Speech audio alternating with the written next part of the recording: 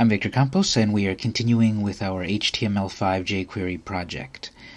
So, um, on the left, I've got my code, which we got from the Wikipedia article, and on the right, I have the project active in a web browser. We see that jQuery Mobile gives us a, a quick uh, way to create a mobile interface with uh, animations and such. Well, let's look at the code in depth and see what we've got.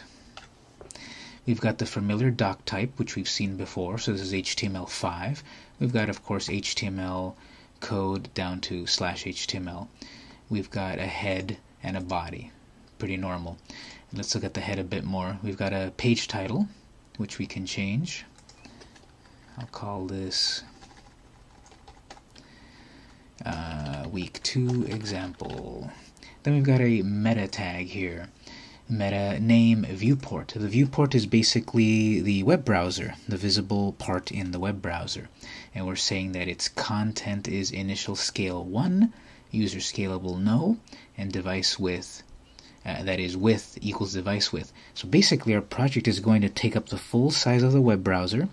So imagine you're looking at this on a mobile device. It'll take up the full screen of the web browser basically on your mobile device.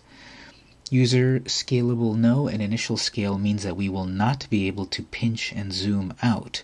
One of the things that breaks the uh, illusion of running a native app versus a mobile app is the ability to pinch and zoom.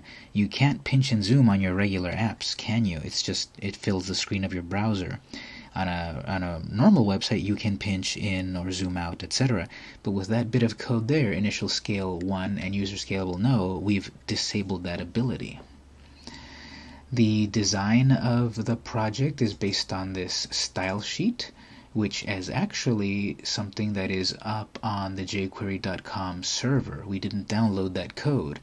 It's up on the server, and this is known as a, as a CDN content distribution network basically means that our content is up on the network instead of being on our hard drive. So the cool thing about this is that as this code changes online, it updates on our project. Next we've got body. And then another big change that we see here is uh, we've got divs.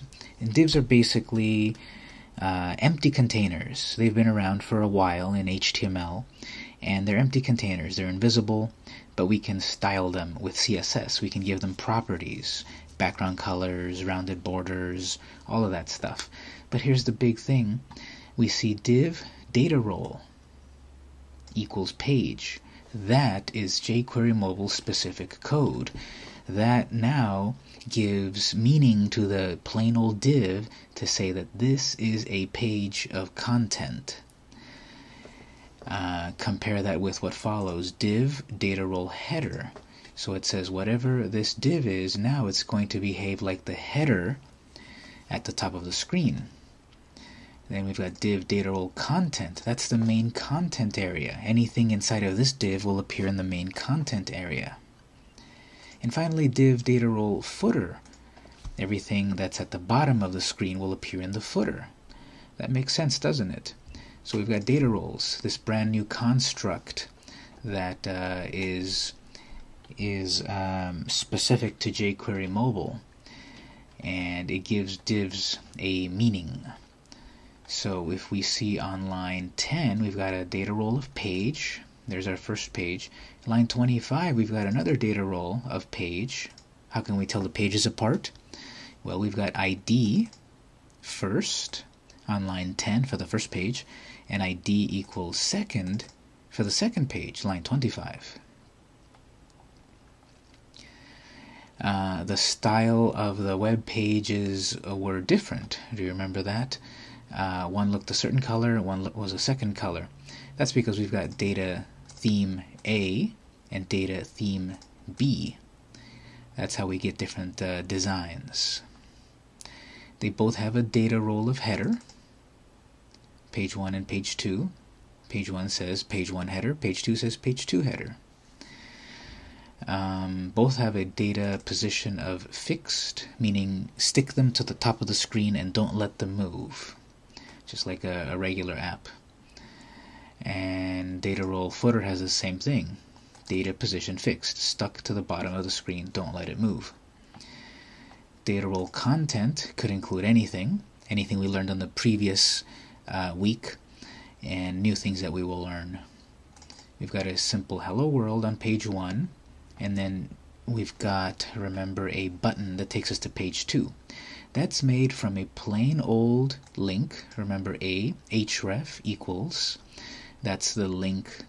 Uh, that's a plain old link, and the text says go to second page.